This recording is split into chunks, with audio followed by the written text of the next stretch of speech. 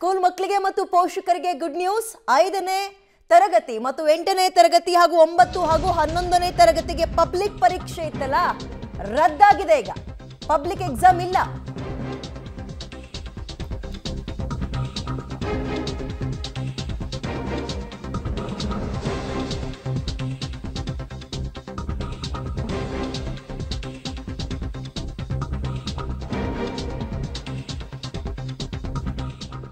ಐದು, ಎಂಟು, ಒಂಬತ್ತು ಮತ್ತು ಹನ್ನೊಂದನೇ ತರಗತಿಯ ಪಬ್ಲಿಕ್ ಎಕ್ಸಾಮ್ ಅನ್ನ ರದ್ದು ಮಾಡಿದ್ದು ಹೈಕೋರ್ಟ್ನಿಂದ ಮಹತ್ವದ ಆದೇಶ ಹೊರಬಿದ್ದಿದೆ.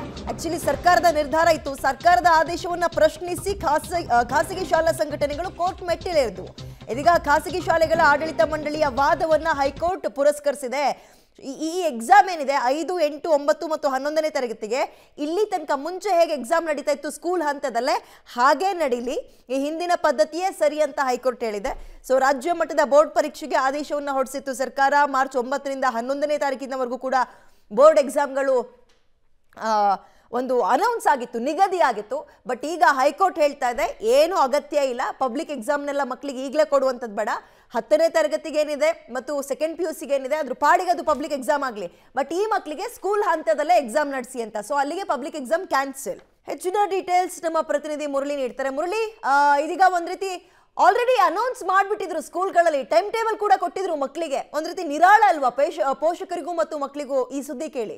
ವಿದ್ಯಾ ಯಾಕೆಂದರೆ ಪ್ರಮುಖವಾಗಿ ಈ ವಿಚಾರದಲ್ಲಿ ಸಾಕಷ್ಟು ಗೊಂದಲಗಳಿತ್ತು. ಖಾಸಗಿ ಮತ್ತು ಸರ್ಕಾರಿ ಶಾಲೆಯ ಎರಡರ ವಿಚಾರದಲ್ಲೂ ಕೂಡ. ಯಾಕೆಂದರೆ ಸರ್ಕಾರಿ ಶಾಲೆಗಳಲ್ಲಿ ಒಂದೇ ರೀತಿಯ ಪಠ್ಯಗಳನ್ನು ಕೊಟ್ಟಿರ್ತಾರೆ. ಜೊತೆಗೆ ಖಾಸಗಿ ಶಾಲೆಗಳಲ್ಲಿ ಆ ಪಠ್ಯಗಳು ಇರೋಲ್ಲ ಅನ್ನೋದ್ರ ಬಗ್ಗೆನೂ ಕೂಡ ಅಪವಾದಗಳಿತ್ತು. ಜೊತೆಗೆ ಅದಕ್ಕೆ ಆರೋಪಗಳನ್ನು ಕೂಡ ಮಾಡಿದರು. ಹೈಕೋರ್ಟ್ನಲ್ಲಿ ಇದರ ಬಗ್ಗೆ ಸುದೀರ್ಘವಾಗಿ ವಿಚಾರಣೆಯನ್ನು ಮಾಡಾಯಿತು. ವಿಚಾರಣೆಯನ್ನು ಮಾಡಿದ ಸಂದರ್ಭದಲ್ಲಿ ಈಗಾಗಲೇ ಹೈಕೋರ್ಟ್ ಒಂದು ಆದೇಶವನ್ನು ಕೂಡ ಮಾಡಿದೆ. ಐದು ಮತ್ತು ಎಂಟು, ಜೊತೆಗೆ ಹನ್ನೊಂದನೇ ತರಗತಿ ತನಕ ಇರುವಂಥ ಪಬ್ಲಿಕ್ ಪರೀಕ್ಷೆಗಳಿಂದ ಪಬ್ಲಿಕ್ ಪರೀಕ್ಷೆಗಳನ್ನು ಮಾಡಬಾರ್ದು. ಯಾಕೆಂದರೆ ಇದರಲ್ಲಿ ಒಂದಷ್ಟು ಬೇರೆ ಬೇರೆಯ ವೇರಿಯೇಷನ್ಸ್ಗಳು ಬರ್ತವೆ. ಖಾಸಗಿ ಮತ್ತು ಸರ್ಕಾರಿ ಶಾಲೆಗಳ ನಡುವೆ ಬೇರೆ ಬೇರೆಯ ವಿಚಾರಗಳು ಬರ್ತವೆ. ಆ ಹಿನ್ನೆಲೆಯಲ್ಲಿ ಆ ರೀತಿ ಮಾಡುವಂಥದ್ದು ಸರಿಯಲ್ಲ ಅನ್ನೋದ್ರ ಬಗ್ಗೆನೂ ಕೂಡ ಒಂದು ಹೈಕೋರ್ಟ್ ಅಭಿಪ್ರಾಯವನ್ನು ಪಟ್ಟಿರುವಂಥದ್ದು. ಜೊತೆಗೆ ಸರ್ಕಾರಿ ಪರ ವಕೀಲರು ಒಂದು ವಾದವನ್ನು ಮಂಡನೆ ಮಾಡಬೇಕಾದ್ರೆ ಸ ಏನು ಖಾಸಗಿ ಶಾಲೆಗಳಿಗೂ ಕೂಡ ಕಲಿಕಾ ಅಭಿಯಾನ ಅಂತ ಏನಿರ್ತೋ ಅದನ್ನು ಪುಸ್ತಕಗಳನ್ನು ಕೊಟ್ಟಿದ್ದೀವಿ. ಅದನ್ನು ಕೂಡ ಸರ್ಕ್ಯುಲೇಟನ್ನು ಮಾಡಿದ್ದೀವಿ.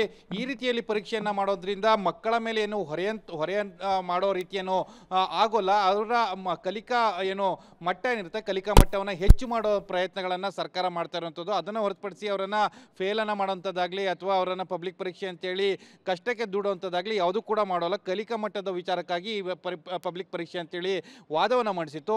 ಎರಡೂ ಕಡೆ ವಾದ ಪ್ರತಿವಾದವನ್ನು ಆಲಿಸಿದಂಥ ನ್ಯಾಯಾಲಯ ಇವಾಗದ ಏನೋ ಪಬ್ಲಿಕ್ ಪರೀಕ್ಷೆ ಏನಿತ್ತು ಪಬ್ಲಿಕ್ ಪರೀಕ್ಷೆನ ಸಂಪೂರ್ಣವಾಗಿ ರದ್ದನ್ನು ಮಾಡಿರುವಂಥದ್ದು. ಯಾವುದೇ ರೀತಿಯ ಪರೀಕ್ಷೆಗಳು ಅವಶ್ಯಕತೆ ಇಲ್ಲ. ಶಾಲಾ ಮಟ್ಟದಲ್ಲಿ ಈವರೆಗೆ ನಡೀತದಂಥ ಪರೀಕ್ಷೆಗಳೇನಿತ್ತು, ಅದನ್ನು ಕಂಟಿನ್ಯೂ ಮಾಡಿ ಹತ್ತು ಮತ್ತು ಹನ್ನೆರಡನೇ ತರಗತಿಗೆ ನಡೆಯುವಂಥ ಪಬ್ಲಿಕ್ ಪರೀಕ್ಷೆಗಳಿದ್ದಾವೆ ಅದು ಅವರ ಕಲಿಕಾ ಮಟ್ಟವನ್ನು ಸಾಮರ್ಥ್ಯವನ್ನು ಗುರುತಿಸಲಿಕ್ಕೆ ಅವಶ್ಯಕ ಮತ್ತು ಅದು ನಡೀಲಿ. ಆದರೆ ಈಗ ಎಂಟು ಐದು ಮತ್ತು ಎಂಟು ಏನಿತ್ತು ಆ ಪರೀಕ್ಷೆಗಳನ್ನು ರದ್ದು ಮಾಡಿ ಅಂತೇಳಿ ಒಂದು ಆದೇಶವನ್ನು ಕೊಟ್ಟಿರುವಂಥದ್ದು ಥ್ಯಾಂಕ್ ಯು ತಮ್ಮ ಡೀಟೇಲ್ಸ್ಗೆ ಕ್ಲಿಯರ್ ವಿಚಾರ ಐದು ಎಂಟು ಒಂಬತ್ತು ಮತ್ತು ಹನ್ನೊಂದನೇ ತರಗತಿಗೆ ಮುಂಚೆ ಹೇಗೆ ಎಕ್ಸಾಮ್ಗಳು ನಡೀತಾ ಇತ್ತು ಹಾಗೇ ನಡೆಯುತ್ತೆ.